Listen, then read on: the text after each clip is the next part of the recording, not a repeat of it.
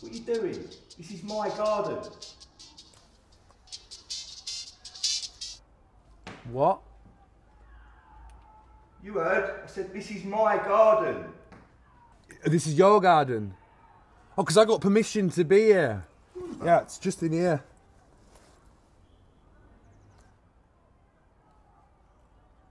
Can you read it all right? Is that clear enough for you? Oh, you're locked in, ah, are you? That's a shame, isn't it? You've learned an important lesson today. Don't disturb a man when he's doing his interpretive dance session. Dickhead. Right. I mean, when you were working in the bar, we were like strangers in the night. Oh, I think you mean ships in the night, mate. What the hell is going on? Nathan, just get out. What is this? Strangers in the Night is actually a song. Mike, shut up. Nathan, get out now. Strangers in the Night exchange. Zip it, Nathan, please. Okay, sorry. I'm going. Sorry. Hang on. You apologised to them? A bit, yeah. What happened then? Turned out I left my wallet on the table. And the best thing is, I get to be my own boss. Kate said she'd be right out, did she? It's probably why I find this so fulfilling. You know, putting someone else in control. Uh huh. Being restrained and beaten by Mistress Kate really takes the pressure off. It's just Kate. What? Kate! Her name's Kate. Just because she brandishes a whip at you one time doesn't make her some seasoned dominatrix.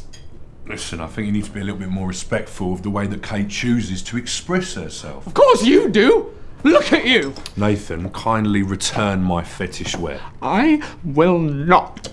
Nathan, I. Mike, what are you still doing here? Get out. This mistress, uh, Kate. The bottom line is careers like the Cheeky Girls don't just create themselves, okay?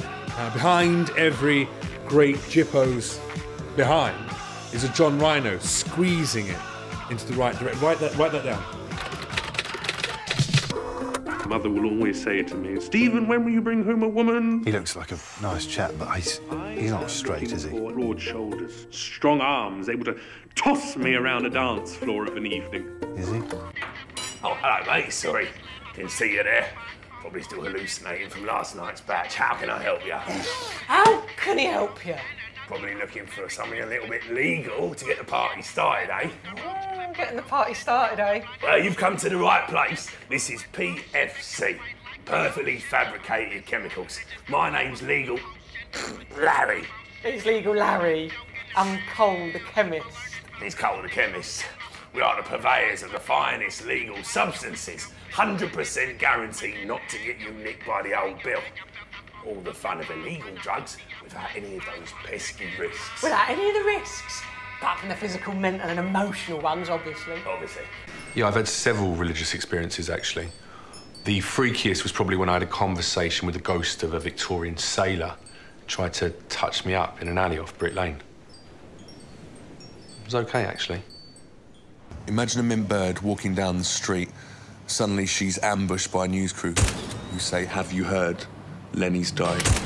Well, she starts sobbing silently and says, I'm sorry, I must leave. I need to be around other women now. And she goes off, gets together with the hottest mates. They sit around a photo of me, naked, in a posh flat and bring themselves off. That's how I want to be remembered.